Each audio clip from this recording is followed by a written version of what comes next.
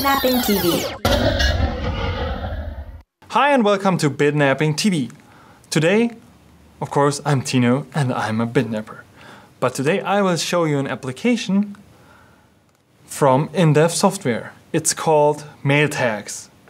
You can download or find MailTags on the website indev.ca.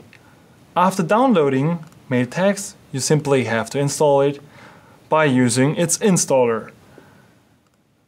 Afterwards, you can open Mail because it's a plugin for Mail app and you won't see that many differences. But you have a small tag over here. By clicking on that tag, it will open the sidebar from MailTags. I can type in now a keyword like video platforms because TubeMogul of course sends our shows to many many different platforms.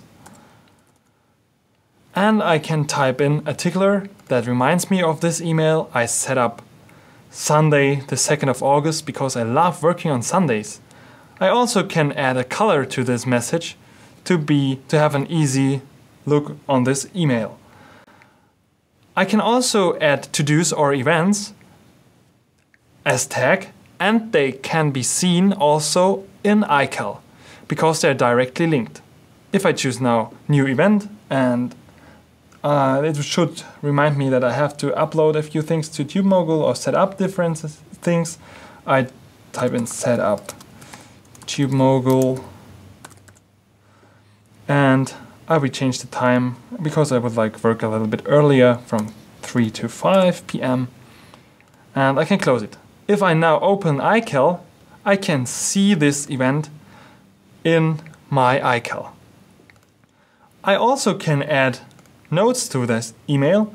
So if I type in anything, like anything, it will remind me of this email. If I now close this tag and switch to a different email that I used before having typed in any tags, it's opened and I can see this tag has a different color. At least if I'm looking for something using Spotlight or the mail search, I can type in the keywords I have typed in two MailTags before. So I type in video platform or just the beginning and I can see that MailTags, mail tag keywords can also be found in mail search. So these are the basics of MailTags. In a later show we will also show you a few advanced uses of MailTags. So stay tuned.